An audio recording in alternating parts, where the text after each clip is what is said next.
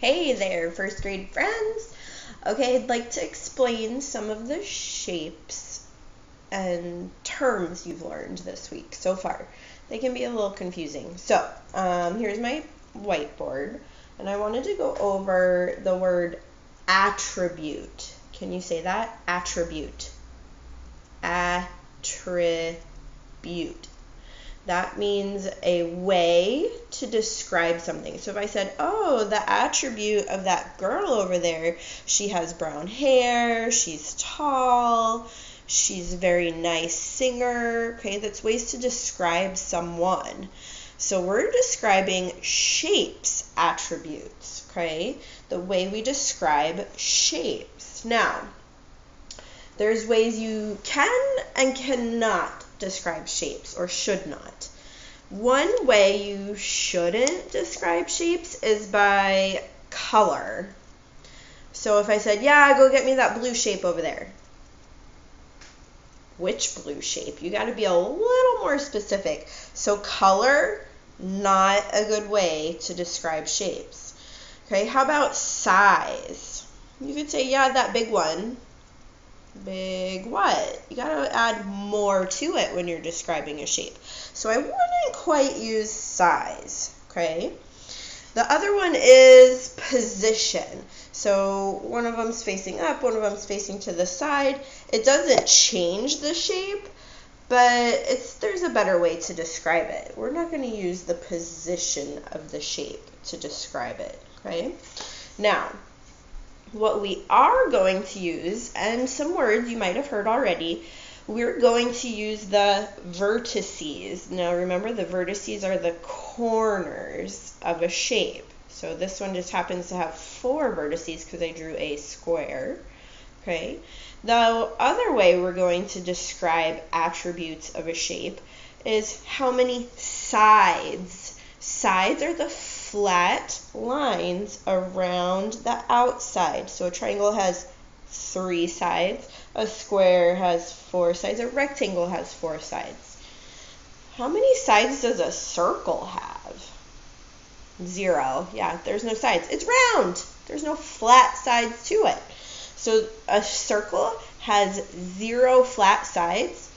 And for it to be a circle, it needs to be a closed shape, closed all the way around. It can't be open with a piece missing. Would you say that's a triangle? No, it's kind of a squiggle. But if I connect it to the top, now it's a triangle because it's closed all the way around the shape. Cool? All right, now another one, another new shape actually that they show you on your lesson today is called a pentagon. So, pentagon, here's how you spell it pentagon, and pent means five, right? So, five, pent, pentagon. A gon is kind of a fancy scientific word for shape, so a five sided shape. Um, a pentagon only needs five sides and five vertices. So the most common one is kind of one, two, three, four, five. It kind of looks like a house or a baseball base, right? Um, so it has one, two, three, four, five flat sides Okay, remember, pent, five. And it also has one, two, three, four, five vertices, too. Five vertices, five flat sides is a pentagon. You got it. All right, so the next thing they also talked about is a square versus a rectangle. This blew my mind. Anybody else go? All right, so a rectangle can be up and down ways, right? Ooh, that's that's not a pretty one. Sorry.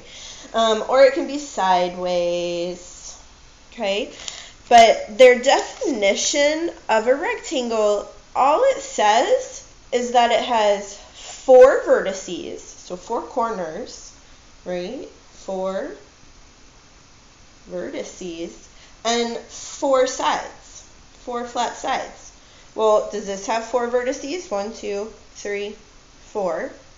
One, two, three, four. Yeah. Does it have four sides? One, two, three, four. One, two, three, four. Check and check. These are rectangles. But here's where they were getting tricky. So this has four vertices. One, two, three, four. Yes. Does it have four sides? Four flat sides? One, two, three, four. Hey, wait a minute. That doesn't look like a rectangle. Um, but it is. Because their definition of a rectangle is that it only needs four vertices and four sides. Now, here's where it gets tricky. What is this shape actually called? What do we call this shape? A square, right. So a square's definition, square, is that it needs four equal sides. Four equal sides. That's the tricky part, the equals word. So this side, this side, this side, and this side are all the same length.